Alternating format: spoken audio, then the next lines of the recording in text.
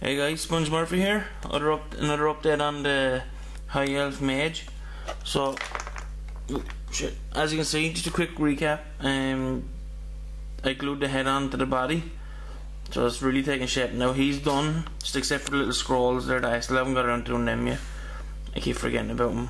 So um, you've seen him before without the head, and it's all finished. I don't need to do anything else on it, just apart from the little scrolls in it. Put the focus on a bit better. Uh, it came together pretty nicely, looking good. And I don't want to stay too long on it, because I want to move on to what I've been doing. Uh, I got the his his left arm finish. It's the one with the book I went with instead of going with two staffs. Um, I didn't put try to put any writing on in the book because it's just it'll either come out really bad, and I don't I didn't really want to try it.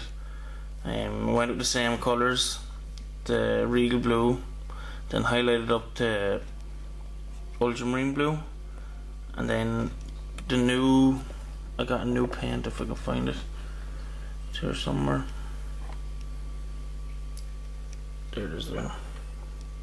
Ushabti bone or however you pronounce it. Uh, layered that onto the book to get the page coloured, and then just I'm going with scorpion green. No, sorry, snot green, scorpion green, then just white highlights just on the edge to give it like a magic look on the, the kind of weird lettering there. And then the back of it here, if I can get on camera, there it is. To get the kind of old book feel, I went with. Well, this is like originally spread white, so it was a a dark elf or dark flesh. I don't get look at. I keep forgetting. Dark flesh. Sorry. A dark flesh wash, kind of, or a really watered down layered, to get kind of like a brown old book look on it. And then with an Agrax or shade wash over that. So forgive the the shakiness of the camera. I still haven't got the piece for my tripod yet, so it's ordered. So I have to just kind of do it by hand so everything could be a little bit shaky. So, so uh, that's that that iron finished, the book and all done. So kind of happy with how that came out. It's not too bad. Now this is what I'm doing tonight. Before I go on to the flames part, everything on this arm was done, except I got I wanted like a like an ivory type of color for the staff there if I could focus. And it kind of came out kind of okay. I would like to like a bit more looked at. I would have liked it to look a bit more nicer, but it came out okay.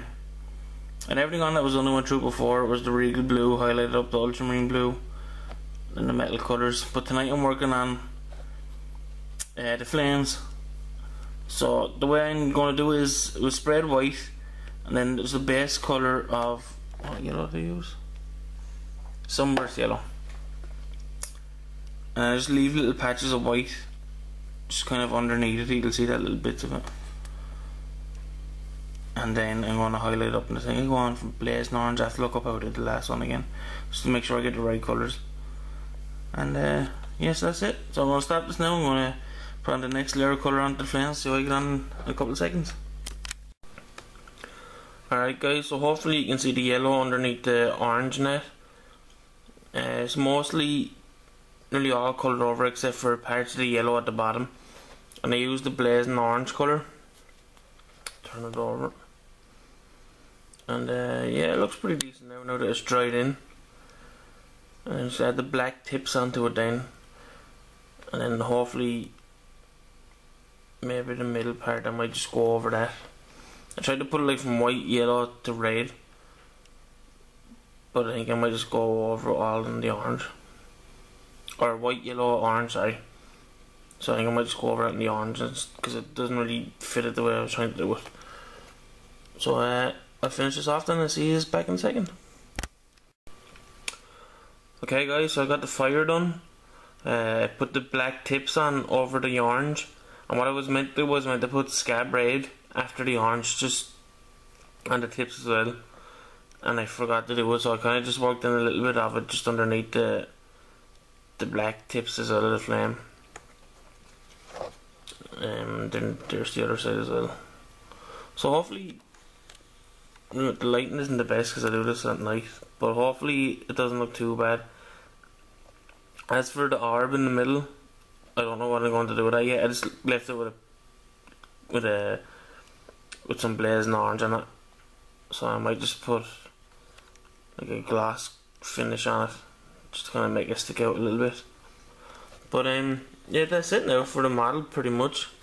I have that arm finished, and this one finished as I shown before, and then the guy himself is there. The rocks not done. I forgot to show the rocks.